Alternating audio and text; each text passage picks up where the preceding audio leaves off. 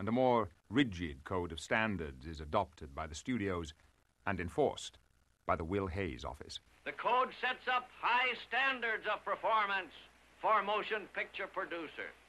You want entertainment, wholesome, interesting, and vital.